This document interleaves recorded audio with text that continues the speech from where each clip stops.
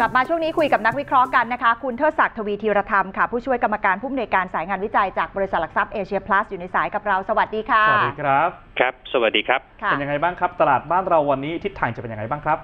ผมว่าน่าจะมีโอกาสขยับขึ้นได้บ้างนะครับ เพราะว่าดูน้ำหนักของ factor ที่เป็นบวกเนี่ยมันมีอยู่สองส่วนนะครับ อันแรกเป็นเรื่องของโอกาสที่เห็นการผ่อนคลายมาตรการนะครับ แล้วก็ทำให้เอ่อธุรกรรมเศรษฐกิจเนี่ยมันขยับขยายเพิ่มตัวขึ้นนะครับ แล้วก็เอ่ออีกส่วนหนึ่งนะครับผมเห็นตัว พลกนะครับสามฉบับนะครับที่ออกมาเพื่อใช้ในการฟื้นฟูเศรษฐกิจเนี่ยก็ถูกประกาศในราชกิจจานุเบกษาแล้วนะครับค่ะผมว่าสองเรื่องนี้เนี่ยน่าจะเป็นตัวที่ขับเคลื่อนตลาดให้สามารถขยับขึ้นไปได้นะครับ แต่ว่าขึ้นไปเนี่ยมันก็ยังมีบล็อกที่สำคัญนะครับ ในเรื่องของผลประกอบการไตรมาสที่หนึ่งนะครับ เพราะว่า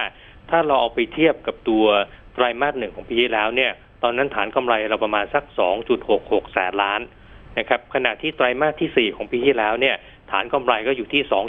2.24 แสนล้านนะครับเพราะฉะนั้นเอ่อไตรมาสหนึ่งปีนี้เนี่ยผมคาดการณ์ว่าฐานกำไรเนี่ยออกมาคงไม่ถึง 2 แสนล้านนะครับครับนั่นก็แปลว่า e a r n i n g quarter หนึ่งเนี่ยน่าจะ drop แบบมีนัยสำคัญพอสมควรนะครับเพราะฉะนั้นตัวนี้นะครับจะเป็นตัวที่บล็อกนะครับทำให้การขยับขึ้นของตัวตลาดเนี่ยทำได้ค่อนข้างจำกัดนะครับเราดูแนวต้านประมาณสัก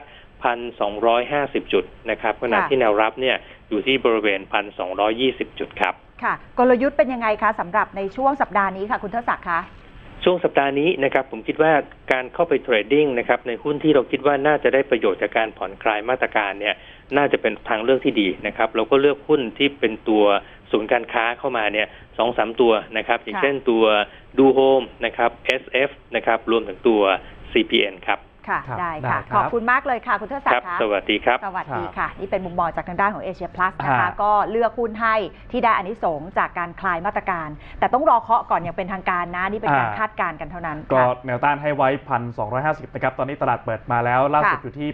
1,213 จุดก็ใกล้แนวต้านทุกทีก็ค่ะ เทรดอย่างระมัดระวังด้วยแล้วกันนะครับ ใช่ค่ะนะคะ เดี๋ยวออนไลน์สายเศรษฐกิจไปคุยกันทั้งเรื่องค่าไฟ แล้วก็อุทธรณ์ 5,000 บาท วันนี้วันแรกด้วยนะคะ เดี๋ยวเจอกันตอนเที่ยงค่ะ ช่วงนี้หมดเวลาแล้วสำหรับรายการชั่วโมงทำเงินพรุ่งนี้เจอกันสวัสดีค่ะสวัสดีครับ